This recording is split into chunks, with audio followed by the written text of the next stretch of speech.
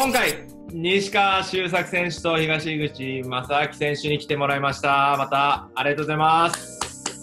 ありがとうございます。あのですね、今回、おはようございます。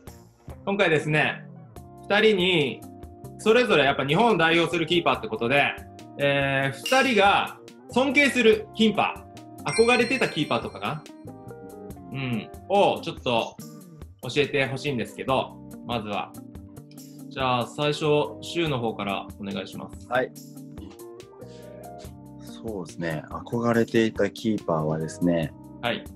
奈良さんとうん、吉勝さんは、うん、もうちっちゃい時から自分やっぱ見てたんで、うん、で、見てた頃はまだ自分もやっぱ当然プロじゃなかったし、うん、こいいなとか、グローブちょっと真似してみたりとか、うん、飛び方を見てちょっと真似してみたりする時代で、うん、で、自分がプロになって、うん、初めてこう対戦をしたりして、うん、で、代表に入った時に奈良さんと吉勝さんがいて、うん、なんか夢のようなうん、時間というか、ちっちゃい時憧れてた自分が、うん、なんかそういう人とトレーニングできてるっていう、なんか嬉しさっていうのはもう今でも覚えてますね。うん、ちょっと理由を聞く前に多分もしかしたら被るかもしれないから東君にもちょっと聞いとこうかな先にいや、うんめっちゃかぶってる。そまあそこはでもキーパーもやっぱね、うんうん憧れる二人やと思いますよ。うんあずっと見てたもん。あそうなんだ。なあ確かに。僕もその蹴り方とかすごい真似しなんかビデオで何回も見て、うん。なんか見見てた記憶があります。うん。そうだ。えっといつからさキーパーってやってたの？僕は、えっ、と、小学4年生ぐらいにうん。始めたんですけど、うん。ええまあ中学生ぐらいまでは、キーパー前半やって、後半フィールドやったりとか、うん最初フィールドプレイヤーやって、ハーフタイムでユニフォーム着替えてキーパーやるとか、なんかそういう感じの、なんか、いろいろやってました。うーん楽しいやつや。楽しいやつ。それ楽しい。めちゃくちゃ楽しいお僕は、キーパー、本格的にやりだしたんは、まあ、いつかな、四小4ぐらいの時ですかね。なんか大事な大会だけ、うーん大事な大会だけキーパーして、それ以外はフィールドうやーっててん、おおそう。で、楽しいやつだ。中学から本格的にもうキーパー一本で。あフィールドやりたくなんねんな。ー点取りたくなるよね。う んそうそう。やっぱそう。なんだそう、でフォワードやらせてくださいってなんかずっとお願いしてたような気が。なんか記憶がある。ちなみにどうでもいい情報だけど俺もキーパーからだから。あえ？そうなんですか？うん。キーパーからキーパーから？そうキーパーからキーパーが嫌でディフェンダーやったの。あそうなんですね。うん。そう逆。フォワードやりたいとかなかったんですか？いやあったけどセンスないと思ってやめた そこはやめた。そうな。んやうん、えちょっとさっきの話に戻るんだけどその吉勝さんと奈良崎さんのそれぞれのすごいとこってお互いどこだと思う？ちょそれぞれに多分視点が違うと思うから。プレー、プレーですよね。プレーで。吉勝さんは、どっちかというと、こう、ド派手タイプというか、うん見てて、うわ、すっげえファインセーブだっていうのを、うんが多いと思うんですよ。うん奈良さんは、なんかいい意味でこう地味タイプというか、うん。なんか確実なことを確実にやっていくっていうか、うん。うんまあでもお互いにやっぱ共通しているのは基礎が半端じゃなくうまかったです。うこんのキャッチングだったり、うんうんうんそれはなんかやっぱ別格でしたね。うんうん。東君は？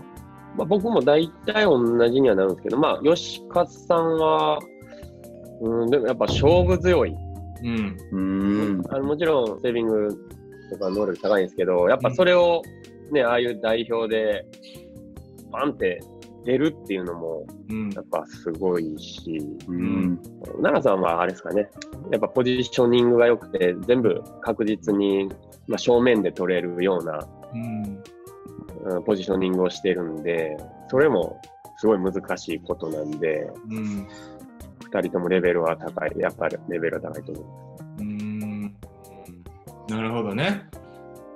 すごい選手たちだもんね。もうレジェンド。逆にその憧れてた選手、キーパーを聞いたんだけど、若手の子で期待するキーパーをそれぞれ一人ずつ聞きたいんだけど、思い浮かんだ方からでどうぞ。もう一人、一人ですか？大大ちゃん。一人、一人。いいですか？どうぞどうぞ。いいますよ、若手。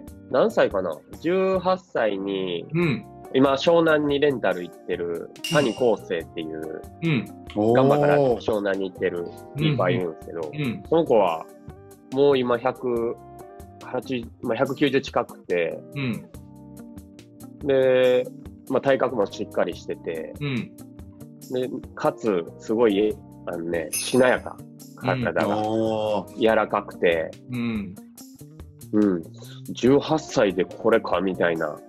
うん。うーん。そこはすごい、すいい若手やと思いますへね。ーうん。なるほどね。一緒にやってやっぱそれは感じてたな、練習とか？そうですね。うんもう18でやっぱ普通にやりますし、うん。自分が18歳の時のことを比べたらもう、すごいなって思います。なるほどね。一緒にやって。はい。ね。週は？僕はですね、あの、浦和レッズに今年、鈴木ザイオン選手っていうのがはいはい。はい。トップに昇格して一緒に練習してるんですけど、うん彼も高 3? 彼高3なんですよね、今年。うんうんうん。なのに、もう体が出来上がってるというか、うん。とにかくパワフルなんですよね。ハイボール、クロスボールとかも、もうん。うすごく力強いですし、うん。うーん。うん、こっからあのスピードとか技術がついて、もっとついてきたら、うん。まあ恐ろしいですよね。えー、そうなんだ。そうなんだ。えフィジカルとかー、すごいんでしょ？テストとか。すごいです、もう。はい。うんもうやっぱり規格外な体はしてるので、あ、そうなんいや、だ。半端じゃないですよ。あと、沖縄キャンプで同部屋だったんですけど、うん。もうとにかく真面目で、うん。その日撮った練習の映像を、まあ、ゴールキーパーコーチにもらって、うん。それをずっと夜寝るまでうん。iPad で見てるんですよ。うえーん。もう何見てるかなと思って見たら、練習うんの映像か、AK さんのライブの映像でした。あそうなんだ。なるほど。うーんそこなんや。うーんええ、まあ、2人はさ、同い年ってことでさ、今34の年だよね、今年で。そうです。ー、はい。ね、もうちょいだよね、5月と6月ってことで。はい。もうさ、何歳までやりたいとかあんの？その引退とかも少しずつ30にかかってくるとさ、意識し始めたりするじゃん。その、うんちょっとこう浮かんできたりさ。どこら辺までやれたらいいなっていうのある目標として。目ざっ標。くりですけど、よんななぜか40ぐらいまではやりたいなっていう。うーん。ねなんわかる。ななんで40かは分からんけど。うん。なんか、奈良さんが42、3ぐらいまでやったじゃないですか。うん。うん。それは超えたいなっていうなんか漠然な目標。あります。うーん。なるほどね。40、そう、2、3までか、そうか。うんうん。すごいなぁ。キーパーはね、なんかあと10年、10年。10年だけど、まあ、2人イメージはできるけどね。なんか。やりたいよね、やっぱね。やりたい、やりたい、やりたい。えーちょっとここでちょっとお題変えて、そのキーパーあるあるをちょっと聞きたいんだけど、なんか、ある？いや、俺の、キーパーあるあるですか？キーパーあるある、あるんだったらもう言ってもらっていいキーパーあるあるは、うん。よく選手に変わり者が多いって言われる。あ言われる。言われるよね。あ言われる、言われる。あ、そうなんだ。え、そどどう変わってんの？だけど本人はあんまり変わってないと思ってるんですよね、きっと。そえ、それは一緒なんだ、東君。え俺が言われるのは、キーパーみんな変わってんのに、東君はまだマシな方やね。あ、そうなんだ。まれ、まれな方に。そうそう。バレな方だ。確かにでも変わってる人は多い。うーん。なんか、いろんな意味でのマイペースだよね。うーん。超、超がつくほどのマイペース。確かに。そうね。大ちゃんの連絡をね、うん。取ら俺、ずに返さなかっええ そう、俺がね、週に何回か電話したことあるんだけど、もう宝くじを当てるぐらいの確率で出ない。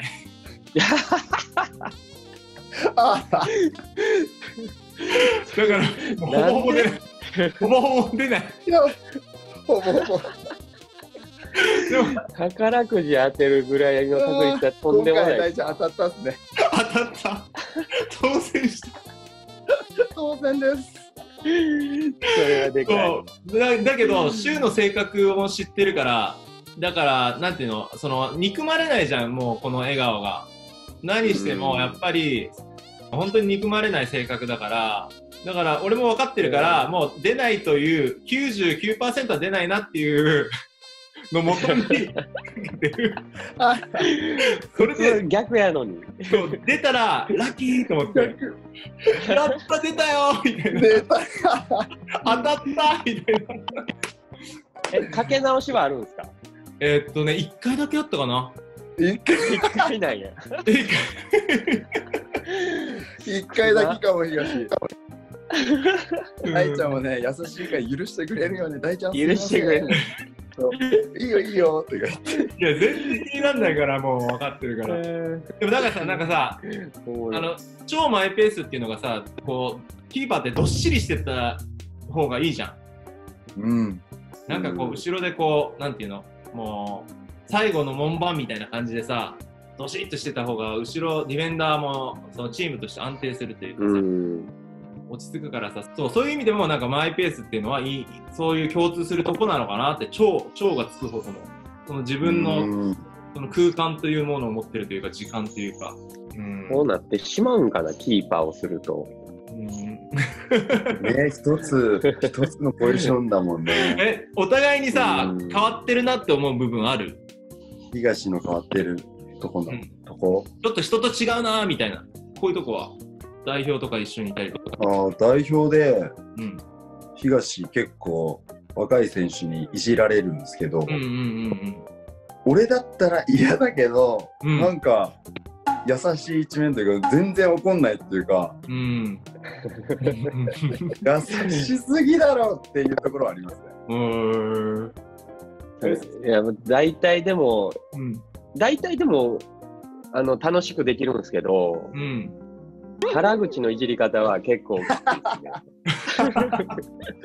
結構ハードやから。そうなたんだまにほんまに怒ってる。ですよ。たまにほんまに怒ってる。えー、そうなんだ。それ以外はえガンバでもガンバでもそのいじられたりっていうのある？いやいや、もう、いじられん人は、また、いじいじってくるのは大体決まってますね。宇佐美とか、ああ、はい。うん、で玄太とか、まあ、そこら辺ぐらいで、うん。他は全然、なんかいじってこないですね。うんそう。うん怖いキャラ。こ怖いキャラではないと思うけど、まあ、今の子もみんな真面目やから、なんかそんなキャッキャしてる人おらんのかうん。うん。だから、ちょっと、静かじゃない？若手の子。いや、裏はレッツやがましいあれかも。うん、裏はね、みんなもう、ワイワイしてる。ど。うんああ、そうなん。や。けど、まあ5番がワイワイしてるからかな。あそう。それはでかいよね。うん。うん5番が、便乗して。そうそうそうそう。それはあるわ。なるほどね。え、逆に東君は週のこう変わってるというか。いや、俺、週い唯一あんまないんですよね。キーパーで変わってるなって思わへんっていうか。えー、そうなんだ。え、週変わってるって言われる？言われて、一番勝ってるよ、お前ってみんなに言われる。そう。そうあんまりなんか、いや、まあ、マイペースはマイペースけどね。なんかそんな、なんて言うんやろ。うーん、害、害のない マイベース？うん、ななんかるほど、ね。もう、周りを巻き込んだマイベースとかもういるんですよね、たまにね。あうん。うん。そういうのではないから、なんかないがないあ、よかっそんなにうん、なるほどね。で、二人とも、そのキーパーとして、タイプが全然違うと思うのよ。いろんなタイプいるじゃん。その、こう、いろんな声でさ、強い言葉投げかけてさ、ちょっとこうモチベーション上げさせるというかさ、チームにこう喝を入れるみたいなキーパーもいれば、まあ、シューってまたそれと真逆だと思う。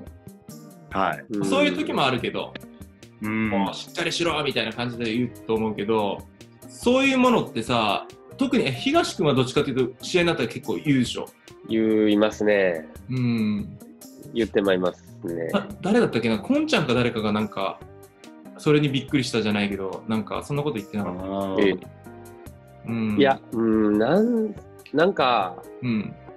結構自分、俺めっちゃ弱いんで、こう、うん。結構その、飲まれてしまうっていうか、うん。だからそれを飲まれ、飲まれないように、こう自分をわざと切れさせてるっていうところもあって、うん。あううんん。で、なんかちょっときつい口調とかにもなってしまったりするんですけど、あんま良くないなとは思ってます。いやいやいや、もうでもそれはもういろんな形があるからね。うんだって昔の、それこそね、あの選手とかもいっぱいいろんな個性のすごい強い人たちがいたからさ。そんな。え？あの人だって。いやいや、いろいろいるね。誰？誰？大ちゃんの口からしか言えないと。あの、いろいろいるので、まあまあ、その名前はあれなんですけど、でもね、低いバーって言われることもあるだろうし、たくさん俺もあったし、うん。かと思ったら、まあ、シューみたいにさ、どっちかっていうと笑顔でさ、こう、集中しよう、集中しようって、たまにこうね、あの、セーブした後にちょっとバーって集中しろ、みたいな、ちょっと強めの言葉を投げかけるけど、割と笑顔じゃん。うん。ですね。うん。そそれは意味あんの、シューは。東君はその自分をモチベーション高めるためじゃないけど、こう。確かに。うん。僕は、なんすかね、なんか、逆に、ガーって言われたら、僕、なんか、カッとくる、すぐカーッとくるタイプなんですよ。うん、うん、うん、え実は。うん。だから、ディフェンスとかにも、うん、まあ、ミスして怒るっていうことも、まあ、たまにするんですけど、うん、でも、げできるだけこう、次のプレーにこう、いい形で入ってほしいっていうのもありますし、ポジティブにこう言ってほしいなっていう流れでこう、うん寄り添ってあげるというか、うん。大丈夫大丈夫だよって言いながら、いいプレーにつなげていってほしいなっていううん思いが。うんなるほどね。ー、願いがやね、あ、でもあれなんだね。意味があるんだね、それぞれにね。やっぱその、うん。立ち振る舞いというかさ、言動にしても。とね、うん。そうですね、いろんなタイプいますね。なんかガーッと言われて、うんガーッと頑張れる人と、うんガーッと言って落ち込む選手もやっぱタイプがあります。うんだから、ガーっていう、その代表的に、そのみんなが分かるところで言う、エイジとかそうじゃん、川島。ああ、そうですね。そう、エイジとかは、やっぱこう、強くね、チームを引き締めるというか。うん。うん。え、シュート似たようなタイプって他いる？大迫くん？ああ、確かに。うん。確かに。広島の。うん。大迫はなんかそういうイメージですね、なんか。うんあそうなんですね。うんうん。え、ちょっとこう、え、大迫選手のプレーってわかる？東君。いや、あんまわからないんですね。うん、あ、シューはわかる？僕わかりますね。は、どう、どんな、どんな感じだ、シューから見たら？まあ、対戦した時もそうだったんですけど、うん、めちゃくちゃ積極的で、うん、で彼もキック力もあって、うん、攻撃につなげる能力っていうのももう素晴らしいですし、うん。あとはなんかこう、負けたくないっていうオーラが対戦した時すごかったですね。うーん、えなるほどね。すごかったですね。なんか、東京世代。久しぶりになんかこう、若い選手とかでギラギラしている選手をうーん。ちょっと見見見ましたね。なるほどね。ちょっとなかなか聞く機会ない最後のあの質問で、ちょっとプライベートのことなんですけど、2人とも趣味は何ですか？お互い息抜きの時間って何ですか？僕はゴルフですね。おお、そうなんだ。ゴルフするんだ。どのくらいで？2年前始めて、うん。うん全然上手くならないですね。あ、そうなんだ。でもそんないけないです。だから月に1回いけるかいけへんかぐらいです。全然、全然上手くならないですね。うーん。楽しいと。楽しい。うん。週は？趣味、趣味は、趣味、なんか趣味はって言われたら、なんか、こ東みたいにこう、これっていうのが僕に見つからないんですけど、うん。基本的にはなんか外出るよりは、うん。なんか家にいる方がそうなんだ。えゆっーくりって感じです。えー、インドア派なんだ、どっちかって言ったら。そうなんですよ。だから、選手が、なんか、食事とか誘ってくれてもう、ん。断ったりとか、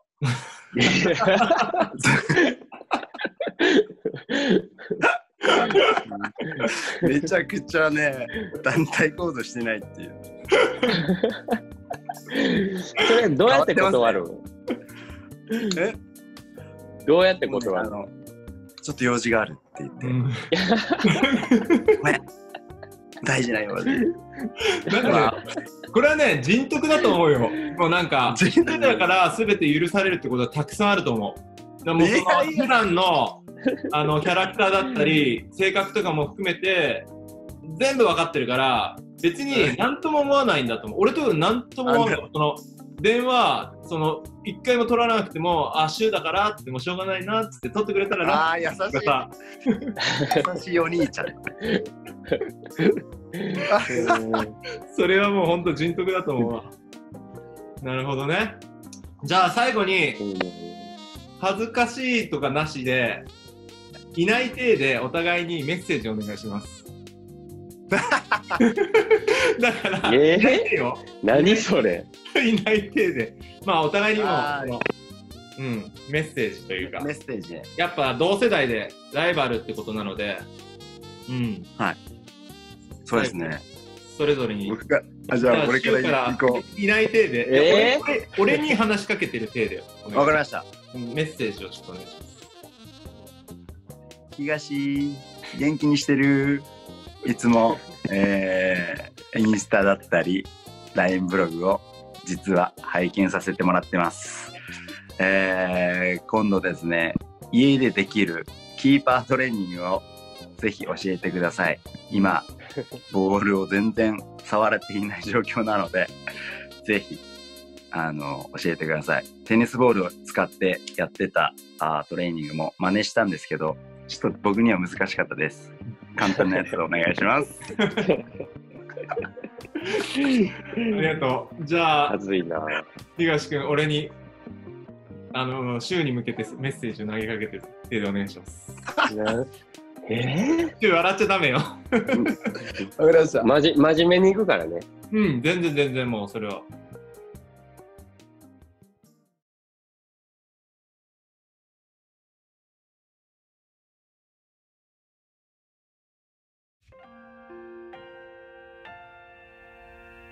えー、修作へ。えー、っと、まあ僕がずっとアマチュアの時から憧れの存在で、で、まあ、修がいたから、僕もここまで、あの、まあ、上の方に来れたし、あの、またこれからも切磋琢磨して、一緒に、まあ、J リーグを盛り上げていけるように一緒に頑張っていきましょう。はい。OK。ありがと。う。いやー素晴らしい回だった。ありがとう。なかなか声がなかったので、いや、楽しいですね。うんこれからも二人頑張ってくださいね。応援してます。ありがとうございます。ありがとうございます。使用の時間ありがとうございました。え、ありがとうございます。